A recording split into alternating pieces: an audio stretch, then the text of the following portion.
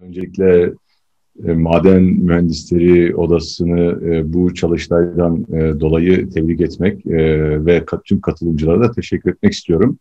Ben saat 13'ten beri izliyorum, dinliyorum, notlarımı da alıyorum.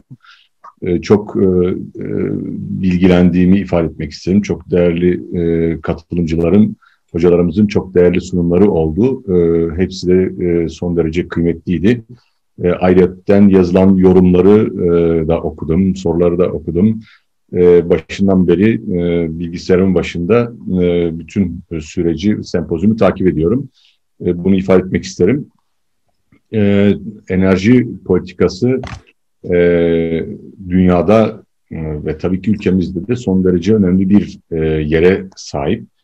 E, şunu belirteyim ben e, partimiz adına e, bu enerji politikalarının ile ilgili e, komisyonda çalışıyorum e, mecliste. E, enerji politikaları ile ilgili maden yasaları ve benzeri kanunların görüşüldüğü e, e, ilgili komisyonda e, bulunuyorum.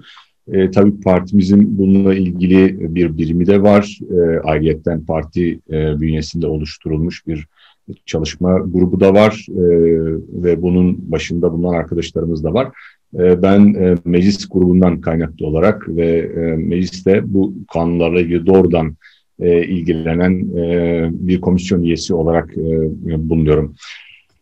Eh, enerji politikalarının dünya siyasetinde de e, e, önemli bir yer tuttuğunu biliyoruz. İşte e, enerji savaşlarının e, olduğunu, yaşandığını, işte daha çok petrol savaşları diye de ifade edilen aslında bir bütün olarak enerjiye yönelik savaşların olduğu, doğalgazdan kaynaklı birçok savaşın e, bu hatlardan kaynaklandığını biliyoruz. Dünya siyaset açısından da, ülkemiz siyaset açısından da e, ülkeler arası ilişkileri belirleme noktasında da, savaşları belirleme noktasında da, dostlukları belirleme noktasında da e, son derece önemli bir yere sahip olan bir alan bu enerji alanı.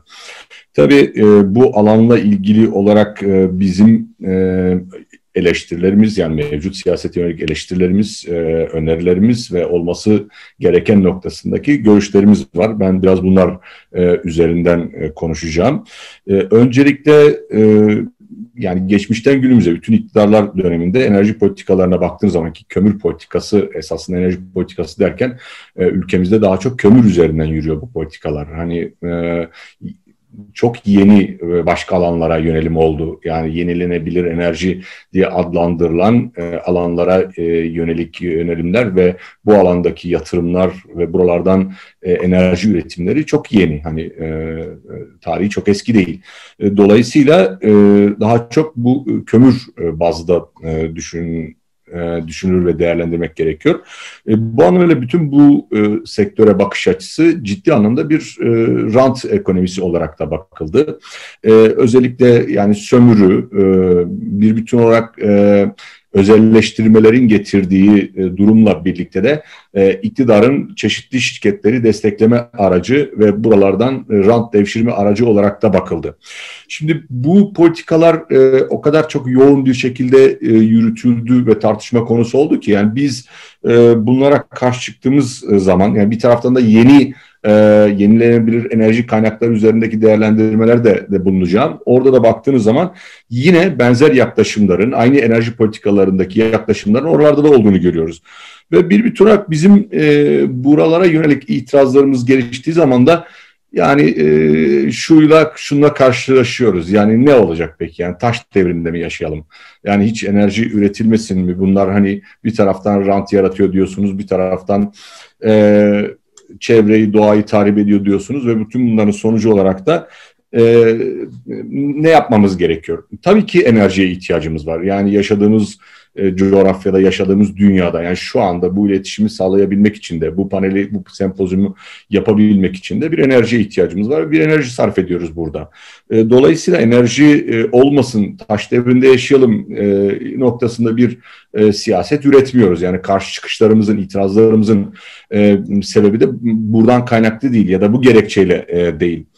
E, ancak şunu bilmemiz gerekiyor. Yani bir kere bizler e, yani insanlar olarak biz bu doğanın sahibi, efendisi filan değiliz yani. Bugüne kadar bütün politikalar e, öncelikle buradan geliştirilmiş. Yani önce insan e, merkezli, insan odaklı e, politikalar ge geliştirilmiş ve bu politikalar geliştirirken e, yani ilk etapta doğa, e, diğer canlılar, e, bütün yaşamsal alanlar e, göz ardı edilmiş. E, daha sonra ise e, işte kapitalizmin e, vahşi bir şekilde uygulanmasıyla birlikte de e, aslında insan öğesi de kendi içerisinde ötelenerek e, sadece belli bir zümreye yönelik e, siyaset oluşturulmuş, belli bir zümreye yönelik bir enerji politikaları oluşturulmuş. E, sunumlarda çok e, ciddi örnekler vardı bununla ilgili, önemli örnekler vardı. E, gördüğünüz zaman esasında dünyanın herkesin e, ortak olduğu bu e, kaynaklar ya da şöyle ifade edelim yani kendi ülkemiz açısından da baktığımız zaman e, bizden sonraki kuşakların da hakkı olan e, bir takım kaynakların tamamının hepsinin birden bir anda çıkartılması e, arzulayan böyle bir politika var. Bu sadece kömür açısından değil, e, altın açısından da, diğer e, değerli madenler açısından da hep böyle bakılıyor. Nerede bir maden varsa onu hemen çıkartmaya yönelik bir politika izleniyor. E, ama bir taraftan da bunların hepsi bizden sonraki kuşakların da hakkıdır. Yani hani bize emanet edilmiş bir dünyada yaşadığımızı ifade ediyoruz ve e, çocuklarımıza bırakmamız gereken, torunlarımıza e, bırakmamız gereken bir dünyada yaşadığımızdan da bahsediyoruz. Bunlara baktığımız zaman e, enerji politikalarını da bu çerçevede ele almak gerekiyor. Yani biz ekosistemin bir parçasıyız yani buradan görmek gerekiyor insanı.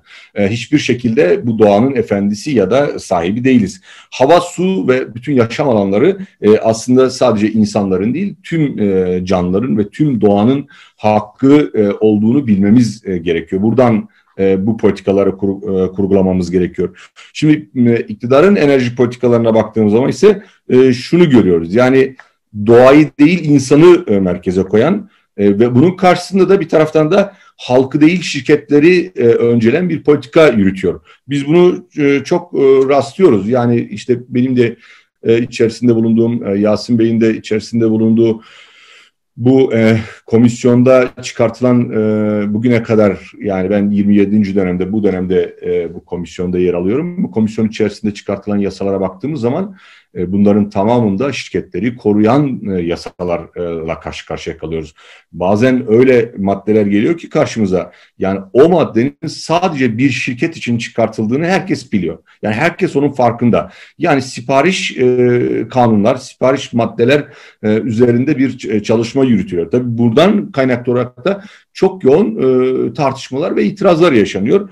E, iktidarın en büyük e, argümanı da e, enerji ihtiyacı, enerji açığı, ülkenin gelişmesi, e, ülkenin zenginleşmesi, halkının zenginleşmesi üzerine kurulu. Buna karşı çıkanlar da e, terörize eden bir yerden e, siyaset üretiyor. Yani bu alanda da bunu yapıyor. Yani siyasi alanlardan hepsinde bunu yaptığı gibi e, bu enerji politikalarının konuşulduğu komisyonlarda dahi e, bizim e, yönelttiğimiz eleştirilere yönelik cevaplarında aynı cepheden, aynı e, kalıp e, cümlelerle e, olduğunu görüyoruz. Şimdi e, e, ilginç bir şey var. E, bunu e, komisyonlarda da bulunduğumuz Meclis Genel Kurulu'nda da sürekli dile getiriyoruz. Örneğin bir Çevre ve Şehircilik Bakanlığı var. E, Çevre ve Şehircilik Bakanlığı e, hani normalde şöyle olması gerekir e, çevreyi e, koruyan, e, şehri koruyan, kollayan, bunu planlayan bir yerden iş yapması, iş görmesi gerekir ve bu planlamaların içerisinde olması gerekir.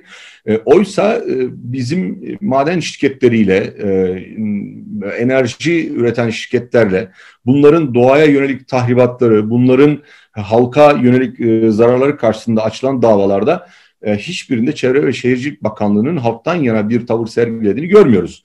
Hani e, Aile ve Sosyal Politikalar Bakanlığı'nda şunu görüyorduk yani e, bir vaka oluyordu. Orada Aile ve Sosyal Politikalar Bakanlığı e, işte mağdurun yanında yer alıyor ve mağdurdan taraf olarak bu davalara müdahil oluyordu. ancak şehirci, Çevre ve Şehircilik Bakanlığı'na baktığımız zaman hiçbir zaman böyle bir tutum içerisinde olmadığını görüyoruz. diğer taraftan şunu çok net yaşıyoruz. Yani bir taraftan bu enerji politikaları e, şirketleri e, esas alan ve onların çıkarlarını e, esas alan bir yerden oluşturuluyor.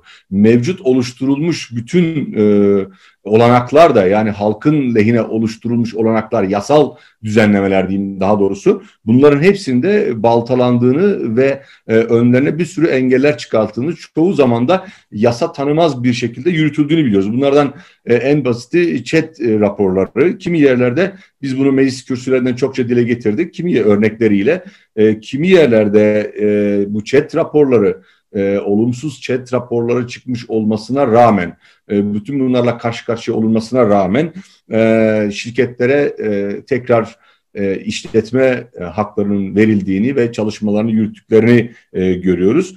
E, yani ve bu chat süreçlerinde de halkın halkın karar alma mekanizmasında yeterli bilgiye sahip olmadan ve e, yeterli imkanların e, olanakların oluşturulmadan da e, bütün bunların yürütüldüğünü biliyoruz. Yani halkın e, karar alma süreçlerine dahil e, edilmesi engellendiği gibi e, bir taraftan da e, doğru bilgiden manipüle edildiğinde görüyoruz. O anlamıyla e, baktığınız zaman birçok köyde, kentte, kasabada bir bütün olarak bu madenlerle ilgili olarak yürütülen mücadelelerde yani daha doğrusu doğanın doğasının çevresinin tahrip edilmesi karşısında yürütülen mücadelelerde şirketlerin bütün imkanlarıyla, devletin de bütün imkanlarıyla halkın karşısında yer aldığını görüyoruz. E, buna jandarma güçlerinin, e, şirketlerin e, koruma güvenlik görevlisi gibi çalışması e, dahil olmak üzere. Bütün bunları söylerken, e, bütün bunları söylerken e, peki ne e, olması gerekiyor? Tabii ki doğanın korunarak, yaşam alanlarının korunarak enerji ihtiyacını karşılayabilmenin oluşması gerekiyor. Yani enerji ihtiyaçlarını oluşturmadan, enerjiyi karşılamadan da yaşamımızı sürdürebilme olanaklarına sahip olmadığımızı biliyoruz. O anlamıyla e, halkın e, ihtiyacı ve geçimlik yaşam için e, yerinde ve denetlenebilir e, şekilde üretilmesi gerekiyor. E, sunumlarda da e, çokça e, bahsedildi. E, kamusal e, alanlar yani kam, e, kamusal bir bakış açısıyla bu, bu meselenin ele alınması gerekiyor. E, şu anda tümüyle e, madencilik yani e, kömür de dahil olmak üzere bütün e, santraller, bütün enerji santralleri, e, yenilenebilir enerjiler de dahil olmak üzere bütün enerji santralleri e, e, şirketlerin insafına ve kar hırslarına terk edilmiş e, durumda. E, bütün bunlardan baktığınız zaman da e, hakikaten halkın ihtiyaçlarını e, değil, şirketlerin ihtiyaçlarını koruyan ve kollayan bir yerden e, bir enerji politikası yürütülüyor. Bu enerji politikaları e, e, tabii e, öncelikle ne için olduğunu e, ve kimin ihtiyacı olduğunu da e, bakmak gerekiyor ve hakikaten enerjiye e, enerji konusunda bu ülkenin yeterli bir enerjisi olup olmadığına da bakmak gerekiyor. Şu anda iktidarın enerji politikalarını oluştururken daha çok şunu e, ele alıyor e, diyor ki ülke e, önümüzdeki 5 yıl içerisinde işte şu kadar e, büyüyecek ve bu büyüme oranına göre de elektrik enerjisi ihtiyacımız ya da işte bir bütüne doğalgaz enerjisi ihtiyacımız ve benzeri alanlardaki enerji ihtiyaçlarımızı sıralayarak diyor ki şu kadar daha fazla e, elektriğe ve enerjiye ihtiyacımız var. Ancak bütün şeylere baktığınız zaman, verilere ve sonuçlara baktığınız zaman e, aslında e, ülkenin o kadar büyümediğini, e, hedeflerin e, onda birinin dahi gerçekleşmediğini, bu iktidar dönemindeki hedeflerden bahsediyorum, onda birinin dahi gerçekleşmediğini, bu anlamıyla e, enerji ihtiyacının da öyle anlatıldığı gibi e, bir yüksek bir ihtiyaç olmadığını, hatta şu anda arz fazlasının olduğunu biliyoruz. E, bu nükleer enerji santralleri oluşturulurken oluşturulurken de en çok savunulan e, konu buydu. Yani Türkiye'nin büyüyeceği ve bu anlamıyla enerji ihtiyacının artacağı ve buradan da mevcut enerji stoğunun ya da üretiminin yeterli olmayacağı üzerine kurulu bir politika vardı ve söylem vardı. Bu söylem üzerinden tüm bu e, siyaset geliştirildi ve halen de bunun üzerinden savunma yaparak nükleer enerji santrallerinin kurulması, yeniden açılması ya da yenilerinin pardon yenilerinin kurulması e, savunuluyor. E, ancak e, görünen o ki e, ve eldeki veriler de onu gösteriyor ki Türkiye'nin bir enerji e, ihtiyacına e, ihtiyacı yok. E, mevcut enerji e, arz fazlası var. E, o anlamıyla mevcut e, enerji e, alanları ve e, yeni üretilebilecek, yenilenebilir enerji alanlarıyla bu ihtiyaçlar çok rahatlıkla e, karşılanabilir e, vaziyette. O anlamıyla mutlaka bu nükleer enerji programından vazgeçilmesi gerektiğini ve bunun çok tehlikeli olduğunu, dünya geneli açısından da bunun terk edildiğini ifade ediyoruz.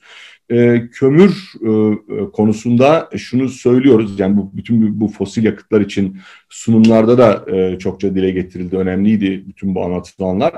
E, bunların e, mutlaka yani bir anda kapatılması, bir anda terk edilmesi mümkün değil. Yani şu açıdan da, yani teknik açıdan da mümkün değil. Buralardaki istihdam edilen insanlar açısından da mü mümkün değil. E, enerjinin e, hali hazırda ihtiyacının karşılanması e, açısından da e, mümkün değil. Çünkü yeni enerji kaynakları da e, Türkiye açısından e, söylersek henüz e, bunu karşılayabilecek durumda değil.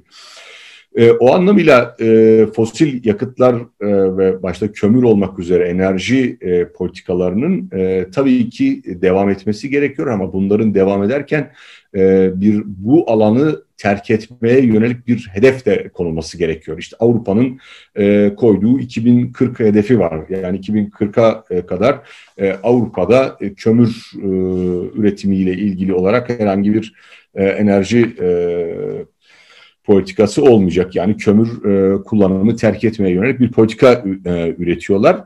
E, tabii bu Türkiye açısından e, neye tekabül eder, e, hangi e, yıllara tekabül eder ancak e, bu bilinmez ama ancak şöyle bir şey bunun bunun planlanması e, gerekir ve uzun vadede e, bu fosil yakıtların e, terk edilmesi gerekiyor.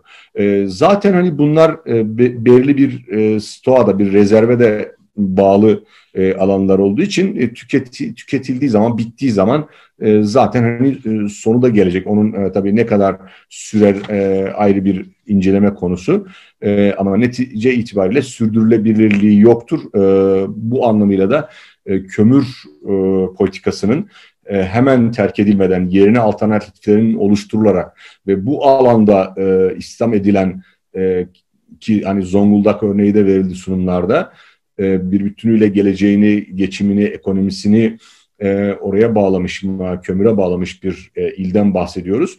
E, bunların da bir sosyolojik gerçeklik olarak değerlendirilip oradaki yeni ekonomik alanlarda oluşturularak o insanların geçimini sağlayabilecekleri, yaşamlarını sürdürebilecekleri alanlar da e, oluşturarak, bütün bu kömür çıkartmasının yani kömürden enerji üretme e, politikasının e, bir gün e, terk edilmesine yönelik yani gelecekte bir e, planlamaya yönelik bir planlamanın oluşturulması gerekiyor. Bu bunun hayata geçirilmediği takdirde yarın öbürsü gün bir anda hani kapatmak ya da bir enerji açığıyla da karşı karşıya kalmak durumunda e, olmamamız gerekir. Bir planlama dahilinde e, yerine İslam'ın sağlanacağı şekilde yeni, e, planlama dahilinde bu alanın terk edilmesi e, gerekiyor. Tabii e, olması gerekenler e, konusunda şunları ifade etmek e, gerekir. Yani enerji politikalar açısından özellikle bizim yani HDP'nin de enerji politikası açısından baktığın zaman yani bir defa kendine yeten yani yerli bir enerji kaynağı olması gerekir. Dışa bağımlı olmadan kendi coğrafyamızda, kendi topraklarımızdan üretebileceğimiz, kendi doğamızdan üretebileceğimiz, kendi imkanlarımızla oluşturabileceğimiz bir yerli enerji üretimi ne ihtiyacımız var.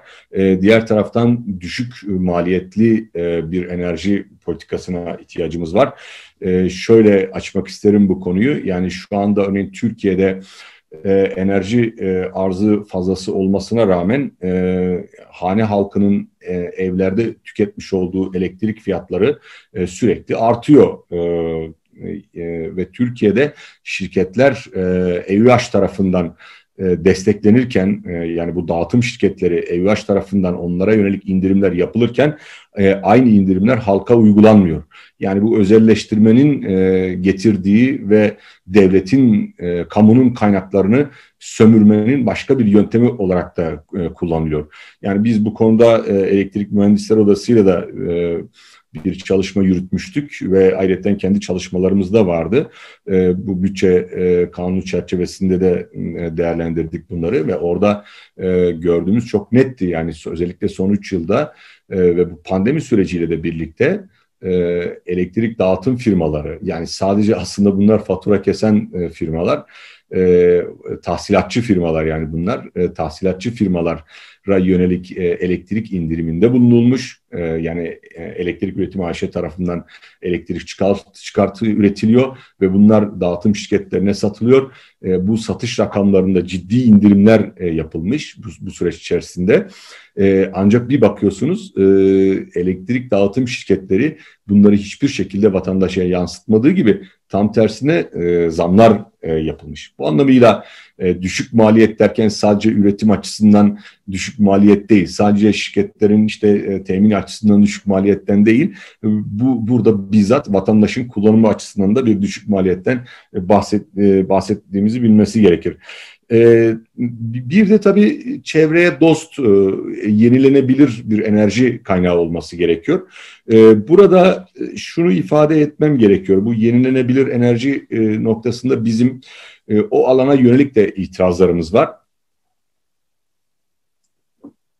Çünkü hani biz yenilenebilir enerjinin bir teknik mesele olmadığını düşünüyoruz. Yani genel anlamıyla baktığınız zaman e, fosil yakıtı olmayan e, enerji kaynaklarına yenilenebilir enerji e, kaynağı olarak adlandırılabiliyor. Ancak bizim e, bakışımız ve bu konudaki tanımlamamızda burada da farklılıklarımız var. E, örneğin biz HES'leri e, yenilenebilir enerji e, kapsamında görmüyoruz. Yani şu anda e, iktidarın da e, bu hükümetin de yenilenebilir enerji e, kapsamında tuttuğu ve verilerinde işte biz şu kadar yenilenebilir enerji e, için yatırımda bulunduk, bu kadar e, e, enerji elde ettik dediklerinin üçte ikisi HES'lerden geliyor.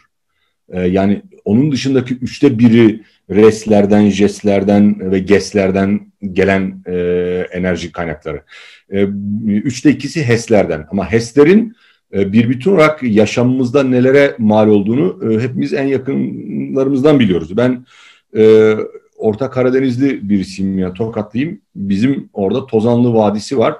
Yani Tozanlı Vadisi'nde bu HES'ler nedeniyle dereler e, e, olduğu gibi kurumuş vaziyette. Zaten hani iklimin getirdiği bir kuraklık söz konusu e, ama mevcut e, e, ırmağında suyunun e, kutulara hapsedilmesi yani borulara hapsedilmesi e, netice itibariyle bi, o bilmiş olduğumuz, yaşamış olduğumuz çocukluğumuzun geçtiği e, koca Tozanlı Vadisi diye adlanan Tozanlı Irmağı diye bildiğimiz e, yani e, o coşkun akan ırmakta şimdi su bulmak mümkün değil. Yani gözlerimize bizzat yaşadığımız, benim bizzat kendimin yaşadığı yer, e, gördüğüm yer burası.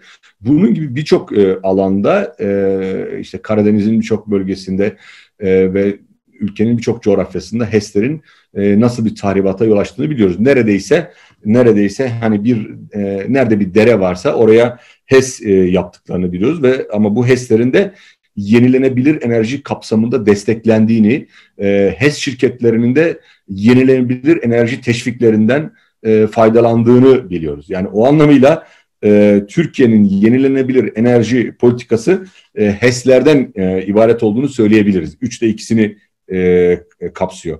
E, o anlamıyla biz burada hani yenilenebilir enerji e, kavramında da e, e, farklı düşündüğümüzü ifade etmek isterim. E, en başta bu HES'ler e, konusundaki görüşümüzü ifade ederek. E, tabii ki e, bu enerji politikalarının e, sürdürülebilir e, olması gerekiyor. E, bu sürdürülebilirliğin yanında diğer taraftan da şöyle bir e, farklı bakış açımız var. E, endüstriyel e, değil de daha çok e, küçük bazda e, elektrik ya yani enerji üretiminden bahsediyoruz ki Avrupa'da da hani çok değerli hocalarımız bu konuda mutlaka incelemeler yapmışlardır. Şu anda Avrupa şuna yönelmiş durumda özellikle. Ben de bizzat Almanya'da tanık olmuştum, görmüştüm. E, işte bizleri misafir eden e, hane halkı, ev sahibi aktarmıştı bize. Çatılarının üzerinde e, bir enerji e, e, sistemi var, panelleri var. E, güneş enerjisi üretiyorlar ve bunlar e, evin elektrik ihtiyacını, enerji ihtiyacını e, karşılıyor. Enerji ihtiyacını karşılıyor ve bunlar e, fazlasını da şehrin e, elektriğine satıyorlar. Yani e, ürettikleri elektrikten diyelim ki yani tatile gittiler e, ya da işte fazlasıyla üretiyorlar. E, e, onların tüketimi az e, ve e, enerji fazlası oluşmuş durumda. O fazlayı da e, şehrin e, elektriğin şebekesine satıyorlar ve dolayısıyla her bir hane halkı, her bir ev aynı zamanda elektrik üreticisi oluyor. Hem kendisini elektriğini karşılıyor hem de şehirde diğer alanların elektriğini de karşılayabiliyor. Bununla ilgili e, Türkiye'de biz mecliste bununla ilgili e, çok fazlasıyla gündeme getirdik, konuşmalar da yaptık, e, çalışmalarda da bulunduk.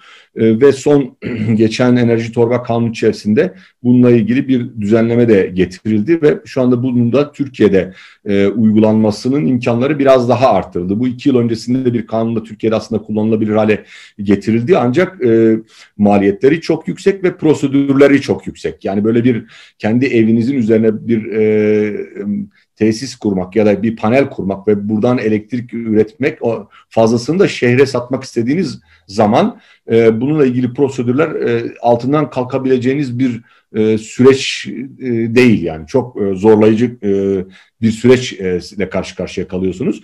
Biz öncelikle bunların e, ortadan kaldırılmasını ve insanların e, evlerinde, e, fabrikalarında, işletmelerinde, dükkanlarında, e, çiftliklerinde, yaşadıkları her alanda kendilerinin kendi enerjisini üretebilecekleri bir sistemin yaygınlaştırılmasını e, öneriyoruz. Yani bu konuda e, önceliğimiz var. E, çünkü şu şu konuda da e, itirazlarımız var. Örneğin yine yenilenebilir enerji konsepti içerisinde düşündüğünüz zaman bu e, rüzgar enerji santralleri ya da e, güneş enerji santralleri diye bunları bir endüstriyel bazda düşündüğünüz zaman e, tarım alanlarına, tarım arazilerine, e, koca koca e, tarlalara e, güneş enerji santrallerinin kurulduğunu, bunların stoklandığını ve satıldığını yani yine şirketler aracılığıyla bu işlerin yapıldığını görüyoruz ve orada e, yaşamı, doğayı, çevreyi etkileyen faktörler yine ortaya çıkıyor. Yani e, bununla ilgili e, geniş makaleler var ya çalışmalar da var ne tür zararlara e, yol açtığı konusunda. Yani bir kere tarım arazisi kullanılıyor, toprağa verdiği zararlar var. E, kuşlar hani sizin e, şöyle söyleyeyim evinizde bir e, karanlık bir ortamda bir lamba yaktığınız zaman nasıl sinekler ona uçuşuyorsa e, bu e, panellere de büyük panellere de e, kuşların e, konduğunu ve orada yandığını biliyoruz. Yani e, göçmen kuşlarla ilgili özellikle bu tür sorunlar yaşanıyor. Bu tür e, meseleler var. Yine rüzgar enerji santralleriyle ilgili olarak da böyle e, geniş alanlara büyük e, santrallerin kurulmasında bunun da endüstriyel olarak kullanılmasında da e, ciddi sıkıntılar olduğunu biliyoruz. Şimdi e, bu anlamıyla... Sayın Kenanoğlu, 2-3 dakikada özetleyebilirseniz. Tamam, bitiriyorum hocam. E, netice itibariyle biz e, bu e, enerji politikasının e, bu anlamıyla e, endüstriyel bir bakış açısıyla değil de e, daha çok e, e, insanların kullanıma ihtiyaçları, e, halkın ihtiyacı ve e, geçimlik yaşamı için e, e yerinde e, şekilde üretilmesinden yana e, politikaları destekleyeceğimizi ifade ediyoruz ve bu konuda e, yatırımların yapılmasına, e, kanunların çıkartılmasına, insanların bunları bu alanda kullanabilmesini kolaylaştırılması açısından ele alınması gerektiğini söylüyoruz. E, ve e, netice itibariyle şuna katılıyorum. Sunumlarda çokça dikkatimi çekti. Bizim de e, şiddetle savunduğumuz e, bir konu bu. E, enerji kaynaklarının kapitalizmin e, insafına terk edilmemesi gerekiyor. Yani şirketlerin inisiyatifine bırakılmaması gerekiyor ve kamusal e, olarak e, üretilmesi e, gerekiyor. E, dağıtımının da üretiminin de e, bütünüyle kamusal olması gerekiyor. Yani kamunun elinde olması gerekiyor. E, e, bu anlamda e, önemli olduğumuzu e, önemli olduğunu söylüyorum.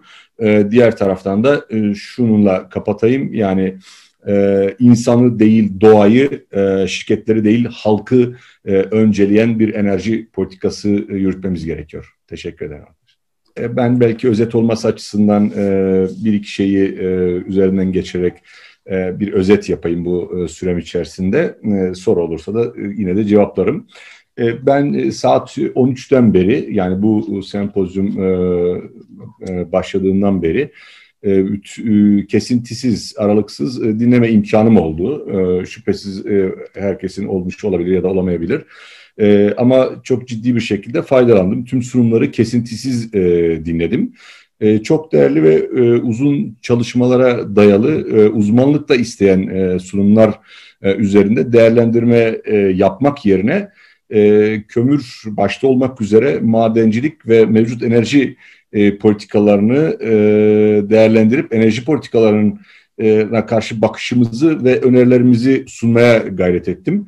E, bu sunumda e, şunların altını çizeyim. E, yerli, yenilenebilir, e, çevre dostu, sürdürülebilir, endüstriyel olmayan bazda bir enerji politikası ile e, insanı değil doğayı, şirketleri değil halkı önceleyen bir enerji politikası olması gerektiğini söyledim kömür başta olmak üzere maden politikaları ile ilgili de e, mutlaka e, kamusal bir bakış açısı, e, bakışla e, kamuyu e, ve doğayı yaşamı önceleyen e, kamusal işletmecilik e, e, şiarıyla e, olması gerektiğini, e, bu yöntemle olması gerektiğini, madenciliğin de bu bakış açısıyla e, işletilmesi ve madenlerin çıkartılması gerektiğini ifade etmiştim.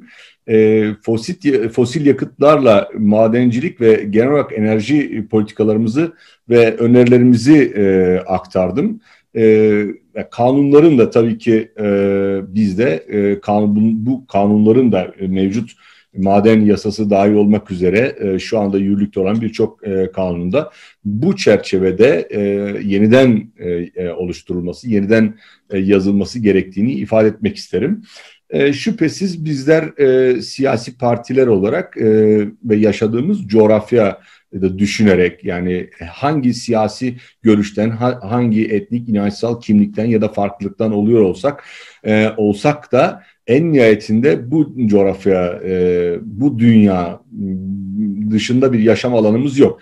Eğer bu yaşam alanını, bu coğrafyayı, bu topraklarımızı e, tahrip eden, e, onları yok eden bir anlayışla e, madencilik e, ya da enerji politikaları e, üretirsek e, vallahi e, hani ben mesleki açıdan belki e, bir hassasiyetle bakıp onu düşünüyor olabiliriz, önceliyor olabiliriz ama netice itibariyle her birimiz bu coğrafyada yaşamak ve çoluğumuza, çocuğumuza, torunlarımıza e, bir yaşam olanağı sunmak durumundayız. Yani bize e, olduğumuz süreç içerisinde bütün bunları tahrip etmek e, ve buna e, değil buna karşı mücadele etmek gibi bir görevimiz var. E, o anlamıyla e, bir de şunu ifade edeyim. Netice itibariyle e, e, Sayın Ahmet Akın da belirtti. E, siyasi partiler politikalarını oluştururken e, mutlaka ki konunun uzmanı e, meslek örgütleriyle, e, STK'larla, demokratik kitle örgütleriyle e, birlikte çalışarak e, onların önerileri doğrultusunda bunu hayata getirmek Bizim de yapacaklarımız e, e, bundan ibaret olacaktır. Biz mevcut e, komisyonlarda çalışırken de yapmış olduğumuz en önemli e, özellik bana göre e, bütün bu kanunlar komisyonlara geldiği zaman ilk önce ilgili e, kamuoyunu bilgilendirmek oluyor. E, en nihayetinde biz şunu söylüyoruz. E, biz e, bu kürsüleri, o mecrayı, e, meclisi e, halkın adına kullanıyoruz. Onların sözünü oraya taşıyoruz. E, bu temsiliyetimiz böyle bir şey. E, dolayısıyla e, maden mühendisleri odası başta olmak üzere konuyla ilgili e, bütün kurumların bu konulardaki e, geliştireceği politikalar, öneriler e, bizlerin politikası olacaktır. Yani biz onların sözünü oralara e, aktaracağız, sizlerin sözünü oralara aktaracağız. E, dolayısıyla bütün bu sunmuş olduğumuz, yani bütün siyasi partiler için geçerli olduğunu düşünüyorum. Sunmuş olduğumuz politikaların e, mutlaka e, e, yani gelişen teknolojiyle, e, gelişen e, dünya sistemiyle de birlikte e, yenilenebilir bir şekilde yeniden ele alınabilecek şekilde e, değişebileceğini de e, görmemiz gerekiyor. Ama şu an için şu an için bizim sunmuş olduğumuz perspektif e, burada özetlemiş olduğum e, perspektif e, doğayı, insanı, halkı, yaşamı önceleyen e, bir e, madencilik üzerine kurulu, bir enerji politikası üzerine kurulu. Böyle olması gerektiğini söylüyoruz. Bunu e, tekraren söyleyeyim, e, o konuda da kimi yorumlar gördüm. Yani yenilenebilir enerjiye de karşı bunlar deniyor. Biz şunu söylüyoruz arkadaşlar. Her yenilenebilir enerji diye tarif edilen yenilenebilir enerji değil. Bakın son maden kanunu yapılan değişiklikte ne oldu biliyor musunuz? Daha doğrusu enerji kanunu bir değişik yapıldığında e, atık lastiklerin yakılması da biyokütle tanımına sokulup yektem kapsamına alındı. Şimdi atık lastiklerin yakılmasından sonucunda elde edilen enerjiye biz e, yenilenebilir enerji mi diyeceğiz? Bunu mu söyleyeceğiz? E, kabul etmiyoruz bunu. Doğru bir şey değil. Bu biyokütle değil e, her şeyden önce. E, dolayısıyla buna yönelik itirazlarımızı da dile getiriyoruz. Ahmet e, Vekilim de ifade etti. Yani HES'lerin yapılması için betonlara aktarılan paraları e, yenilenebilir enerjiye destek e, kapsamında değerlendiremeyiz. Kimse kusura bakmasın. E, o yüzden şimdilik bunları söyleyeyim. Teşekkür ediyorum arkadaşlar hepinize.